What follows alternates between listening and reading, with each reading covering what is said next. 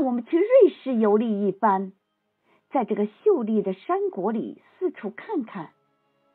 在小小的山城 Greenwood 之间，有两个冰川在岩石峭壁中。到了夏天，便有很多外国游客从世界各地赶来欣赏这奇异美景。山谷中散布着许多小木屋，小木屋里都有孩子和小小的马铃薯园子。这些孩子们来到冰川，向游客兜售小工艺品。其中有一个很小的男孩，高山上住着他的祖父。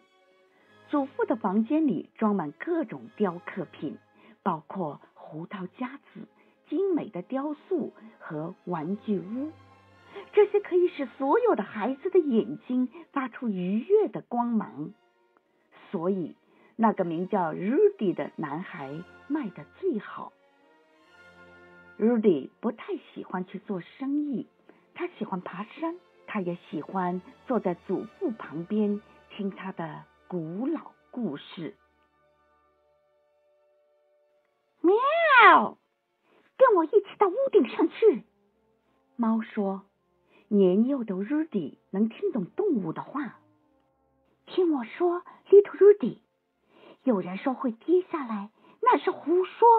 你不会跌倒。来吧，现在睁大眼睛，一只脚踩到这里，另一只脚踩到那里，用自己的脚来感受路。如果碰到一个洞，就跳过它，像我一样紧紧抓住地面。喵！就这样，Rudy 经常和猫一起坐在倾斜的屋顶上、高大的树木上，然后在更高的岩石山脊上。再高一些，再高一些！树木和灌木丛喊了起来：“看看我们爬得多高！” Rudy 在日出之前爬到山顶，芬芳、清淡而新鲜的山间空气，这是来自上帝的礼物。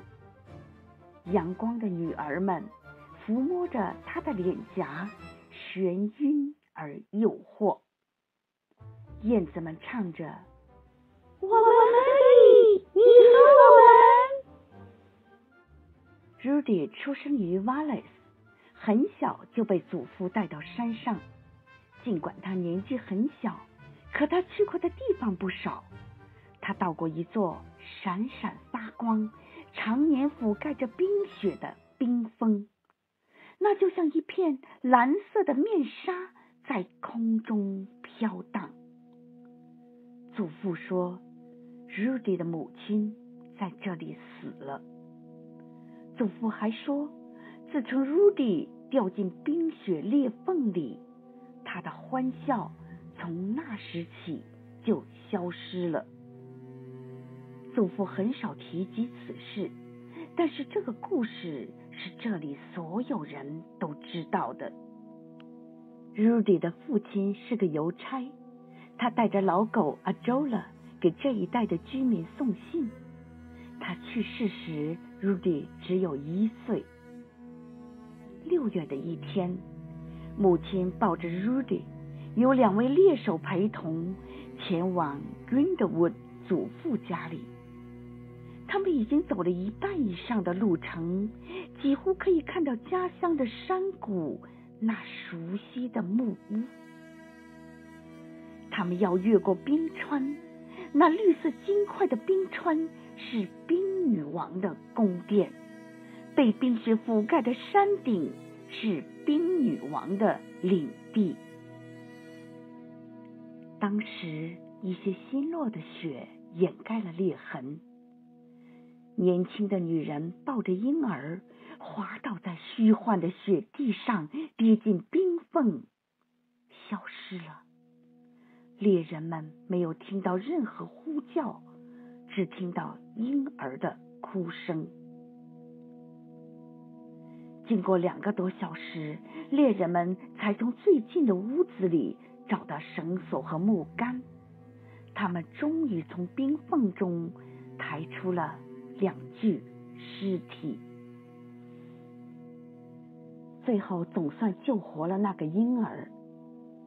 祖父的女儿没能回来，只回来了小外孙，那个曾经跌落到奇异的冰雪世界的孩子。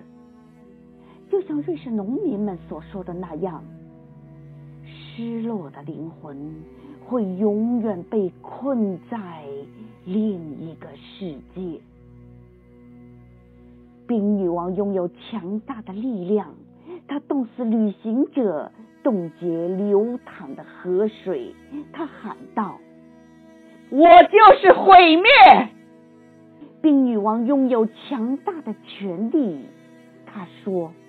我曾经亲吻过一个漂亮的男孩，他又被偷回了人类中间。他一定会回到我这里的。冰女王雇佣了眩晕精灵，他会引诱受害者，直到他们跌入深渊。那个孩子的内在力量使我不能接近他，我抓不住他。那只怪物猫教给他的把戏，你必须要抓到他。我不能，我不能。阳光的女儿们每天晚上在山峰上围成一圈，展开它们玫瑰色的翅膀。太阳下沉时，玫瑰色的翅膀更加火红。高耸的阿尔卑斯山。似乎被大火燃烧。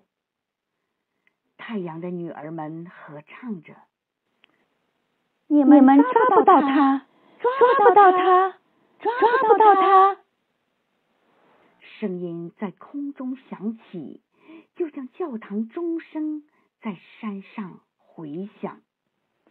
比他更强的，我也能抓到。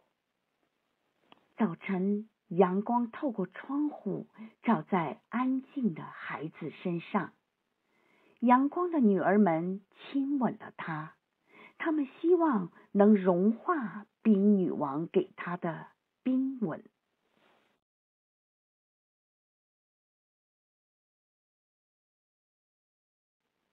Rudy 八岁了，他的叔叔住在山的另一边，他希望接 Rudy 去他那里。可以得到更好的教育，祖父也是这样想的。Rudy 要开始新生活了，和祖父告别。那只老狗 Ajola 对他说：“这个世界上无论是狗还是人，事物并没有平等的分配。”Rudy 听完 Ajola 的告别演说后。亲了他一下。猫说：“喵，你爬上高山不会跌倒的。”然后猫跑了，它不想 Rudy 看到它的眼泪。母鸡们说：“Rudy 要翻山越岭去了，翻山越岭。”山羊们也悲伤的跑开了。两位有经验的向导要和 Rudy 一起走。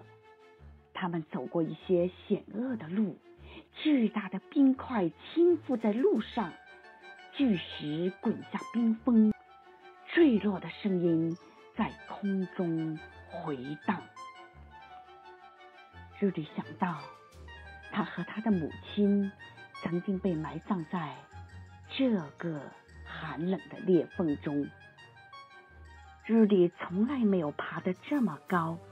冰川接连着冰川，他们正在越过冰女王的领地。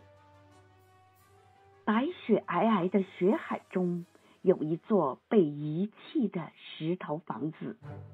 他们晚上到达这里，生起了火过夜。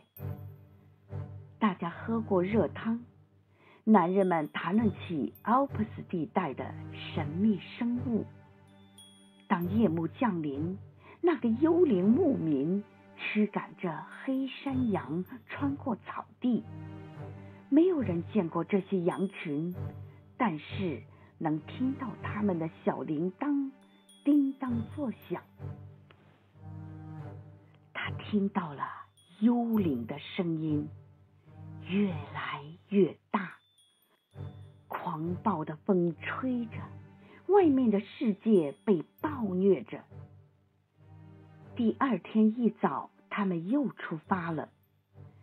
阳光照耀着新的山脉、冰川和雪原。